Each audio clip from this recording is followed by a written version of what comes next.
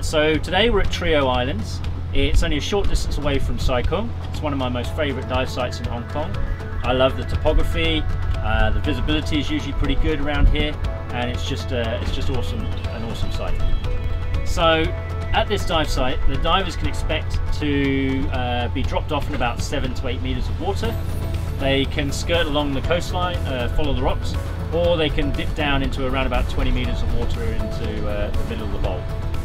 It's a good dive site for divers of all experience levels. Those with a bit more experience can enjoy the topography and the current, and also there's for those at beginner level, there's uh, some flat, safe areas where they can improve their diving skills.